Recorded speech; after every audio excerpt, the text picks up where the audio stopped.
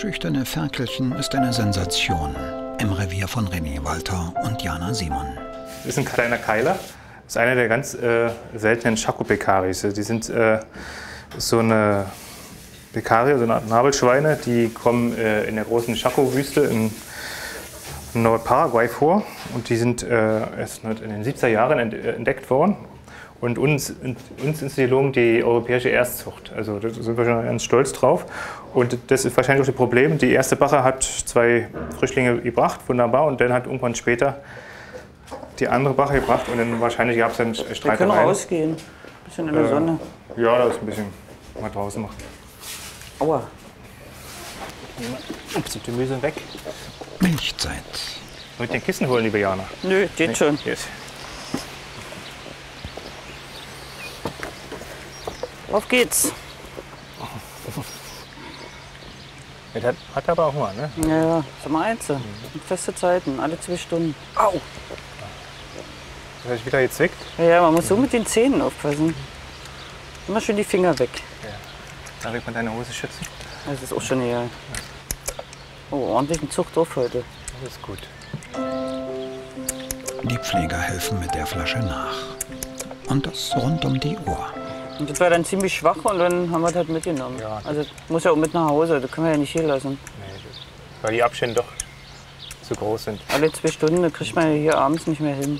Wir sind ja hier halb fünf weg. Das ist das erste Mal, dass man, äh, wir sind schon viele Jahre am Tierpark, äh, ja. so ein Schwein großzieht. Ne? Also, so ein Schwein Vor Dingen sind die Mengen so komisch. Der trinkt ja nur so ein paar Lächerlich. Gramm und bei den Ziegen hauen wir so eine ganze Pulle drin. Oder so. früher beim Jagd, äh, also ein Rind, das, also eine Riesenpulle da reingehauen und das ist nur, wirklich, der lohnt, der aufwacht was ja nicht. Ein bisschen schütteln, also genau. sind ja. wir satt.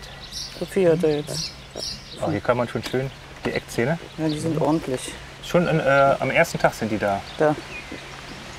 Die werden, und die wetzen sich, das sieht man sehr schön, immer bei aneinander. Also bleiben die immer äh, äh rattenscharf. Also die sind richtig. Die tun auch richtig ja, weh. Ja. Also wenn der einen in den Finger hackt.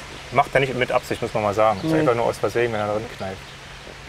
Aber die sind schon gleich angelegt und schon sichtbar. Nach dem Trinken Gewichtskontrolle. Ich gehe mal die Waage holen.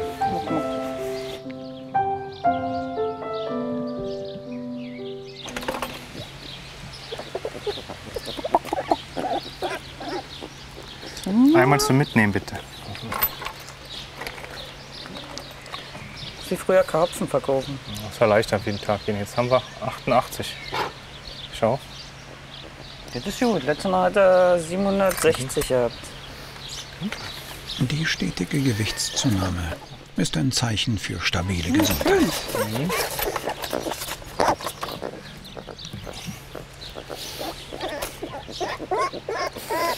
No.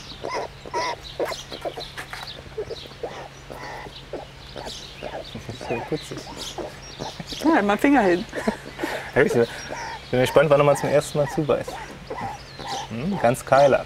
Ich hab das zum Anfang gemacht. So den Finger hingehalten mhm. zum Lutschen, so. Ja. Da musst du aber jetzt vorsichtig, der rollert mit der Zunge zu seinen Zähnen hin. Ja. Und dann beißt er ruf. So.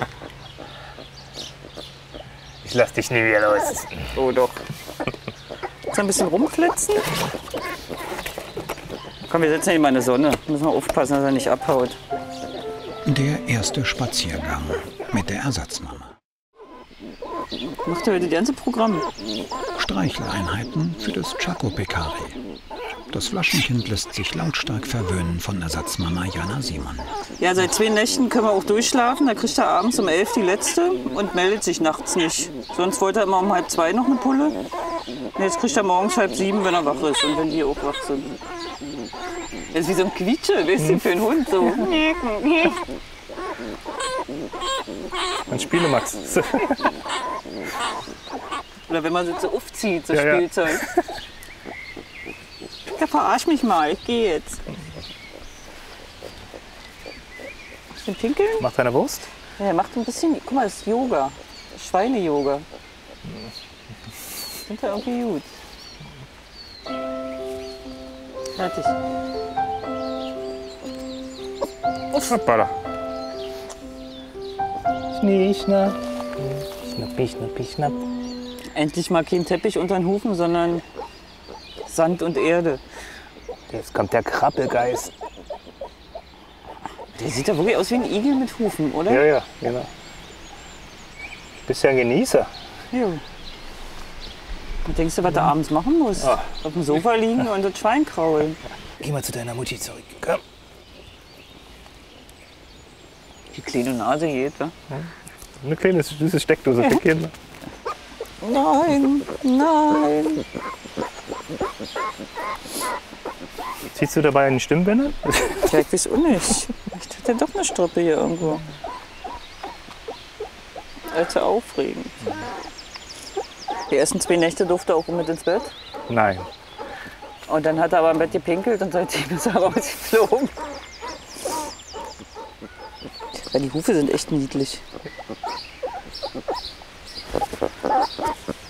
Hopp, hopp, hopp, hopp, hopp. Hier geblieben. Ja, der ist schnell. Nicht in den Busch. Das sind Brennnesseln und ich habe kurze Hosen. Komm, Kumpel. Meinst du die Luft hier hinterher? Nee. Ab ins Bett. Komm. Los. Es ist Zeit zum Vom Schlafen. Sonnenschein träumen und Kraft tanken für einen neuen, spannenden Tag. Zurück im Tierpark, im Revier der Chaco Pekaris. Der jüngste Pekari ist jetzt 14 Tage alt und wartet im Essensraum Hähnchen auf die Pfleger. Oh, hier voller Milch hier.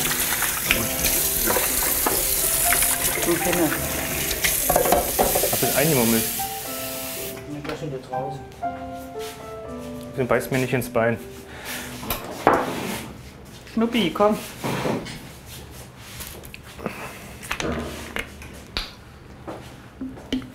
Da ist es. Ach, Leckerchen. Er sucht immer St- Kontakt mit irgendeinem Stoff. Ja, Kuschelmuschel Oder mit immer uns. irgendwo rum.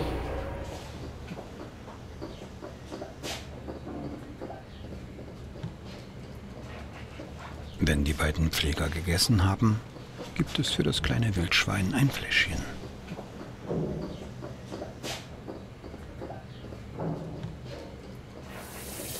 Au. Da hört er. Jetzt schon mit Wasser plätschern.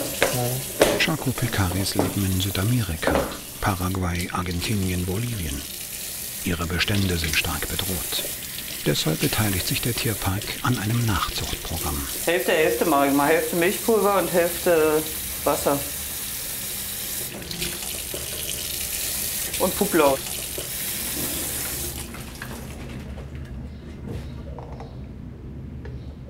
Geht gleich los. Spitzt schon mal den Rüssel. So. Auf geht's. Oh, er sieht die Flasche. Ja, ja, und hackt mir den Finger. Ja, ja. Achtung. Also wenn das nicht niedlich sind, weiß ich nicht. Ja. Könnte vielleicht noch ein Rehkitz toppen, ne?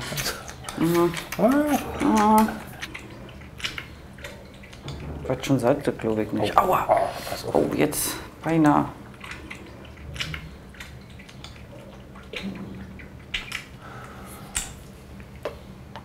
Seit 2012 gab es sieben Pekari-Geburten im Tierpark.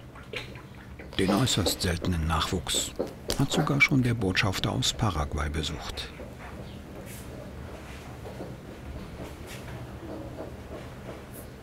Weiß ich Gramm, ist gut. Das war's. Ich finde ja, dass er ein bisschen aussieht wie ein Igel mit Hufen. Mit Hupen? Mit Hufen. Ah, mit Hufen.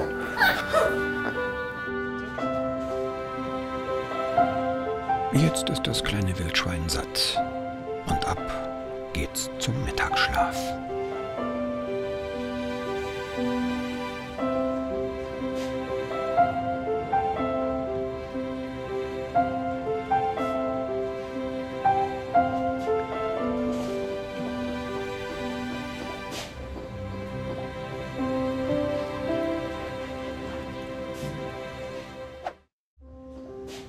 Der kleine Chaco Pecari soll noch gewogen werden.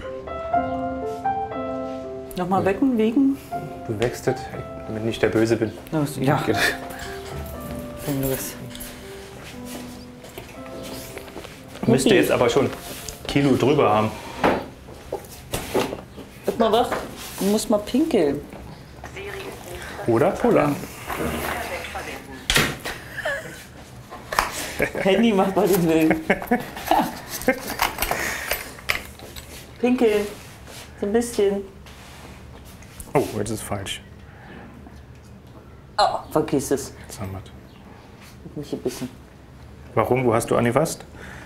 Hm, schnell die Hand hinhalten. Ach so.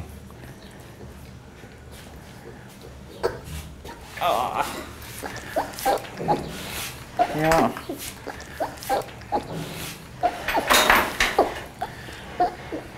Pack ihn ein.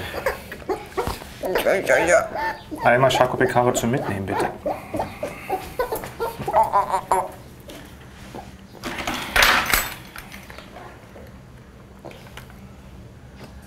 Ein Kilo 18, Kilo 16. Super. 1160. Gut. Ich schreibe mir sofort auf.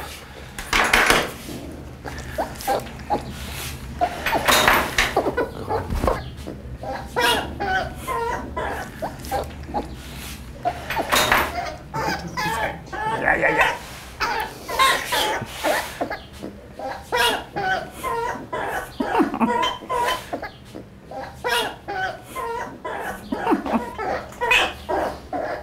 Ja nicht leiden, so über den Kopf irgendwie. Weg ja auch nicht. Inzwischen hat er auch einen Namen. Er ist Zamuko. Das ist ein, äh, eine Sprache äh, der, Einheimischen. der Einheimischen Indianer. von, von Paraguay. Also, genau. Ich dachte, das finde ich passend. Ja. Passender als Roche. Oder Heinz. ursprünglich. Oder Heinz. Heinz wäre ja auch nicht. Aber Heinz wäre blöd. Aber Zamuku finde ich richtig passend. Also, saugt er sich fest? Jo. Cool. Würde ich ja nicht wagen.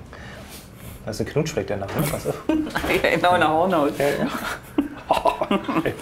Gleich macht Samoko einen Spaziergang. Im Revier der Chaco Pecaris.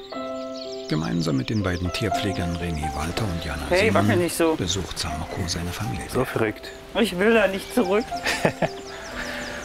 Wir waren ein bisschen böse zu dir. Die Geschwister, ja. Ja. Dann machen wir wieder eine Bürste, ne? Der Keiler wieder. Guck mal, Mami und Papi. Schau. Die Bösen. Die dir alle weggesoffen haben. Das ist ja ein Unterschied, ne? Also wirklich. Die älteren Halbgeschwister, Frischlinge von der ersten Wache, haben Zamoko die Muttermilch streitig gemacht. Ihn von seiner Mutter, der zweiten Wache, verdrängt. Deshalb wird Zamoko nun mit der Flasche aufgezogen. Sind sie ganz verstört. Die Bösen. Riecht schön nach Pekari, ne? Nee, die schmatzen. Samuru? Das war bestimmt so, dass die dem die Milch weggesoffen haben. Ja, denke ich auch. Also, Wie groß, die, na, wie groß die schon sind wegen ihm. ja, ja. Nee, da willst du nicht hin. Nee. Da stecken wir dich auch nicht Die rein. schmatzen auch so wie ihr. Mal die,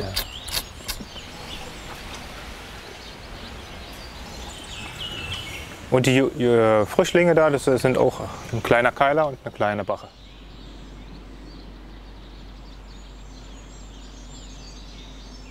Und er ist jetzt 14 Tage, das ist schon ein ziemlicher Unterschied von der Ja. Größe. Und die werden, da werden wahrscheinlich ein Verdrängungswettbewerb gewesen sein. Und da macht er natürlich miese. Zamokos Geschwisterchen ist wegen dieses Verdrängungswettbewerbs gestorben. Er konnte gerade noch gerettet werden. Ich denke, das wäre gut, wenn die Jungtiere alle zusammenkommen. Ja. Mal gucken. Schon groß. Ja, wir wachsen schnell. Ja? Ja. Also das zwei Monate, knappe zwei Monate Unterschied ist das. Nee, Kumpel, da bleibst du noch ein bisschen zu Hause. Genau. Was Abwechslung. Ne? Ja. Der Rüsselnase. Denn los. Ab ins Warme. Wenn Zamoko erst ein bisschen kräftiger ist, kann er vielleicht zu seiner Familie zurück.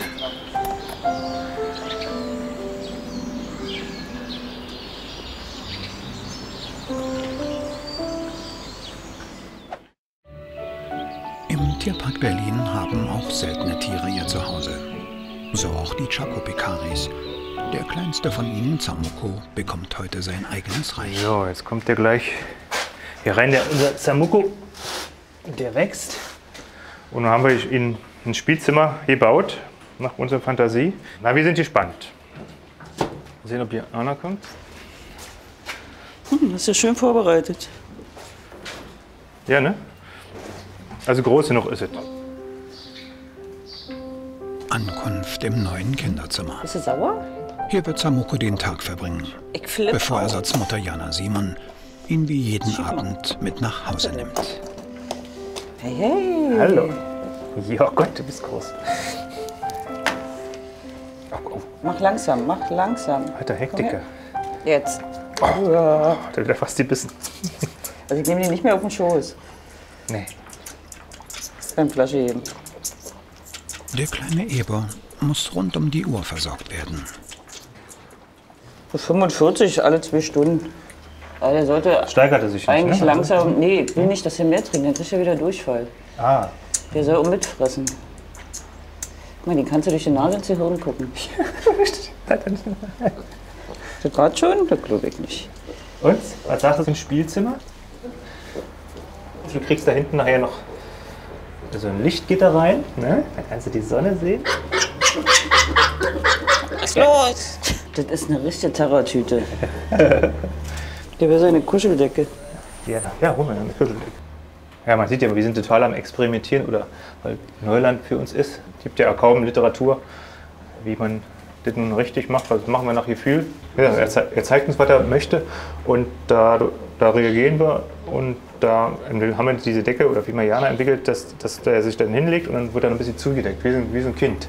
Und da ist er richtig zufrieden, weil er dann äh, so einen Ersatzkuschelkontakt hat. Wir können ja nur nicht den ganzen Tag kuscheln, auch wenn es Freude macht.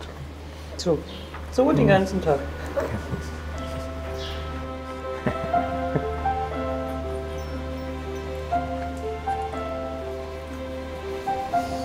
So, schön die Nase bei mir sauber gemacht. Geh mal in deine Decke. Komm.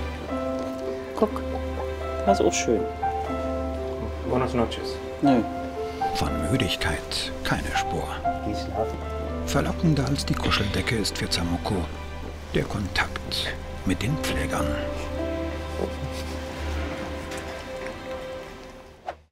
Zurück bei Zamoko im neuen Spielzimmer.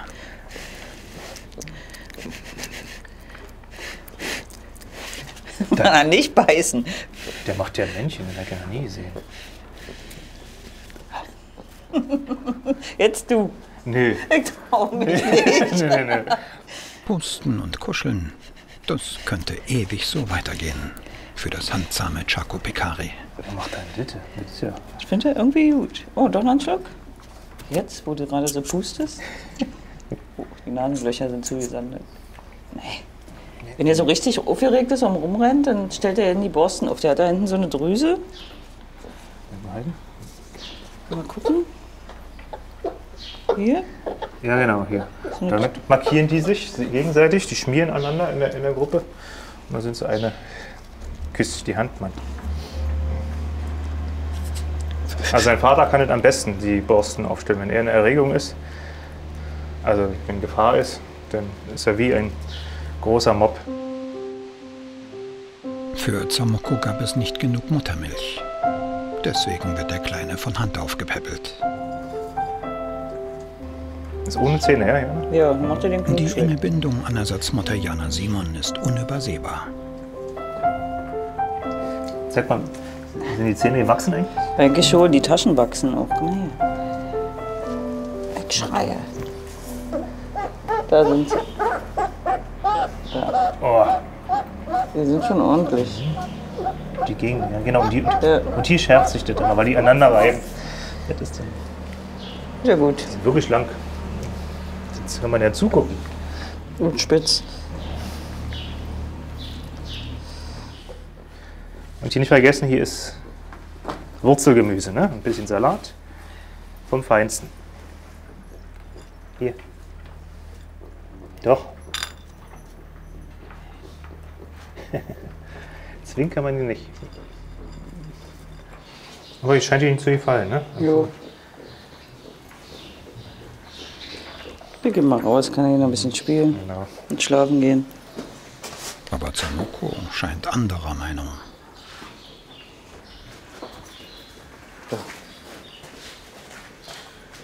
Jetzt ist aber gut, ne? So, So, jetzt ist gut.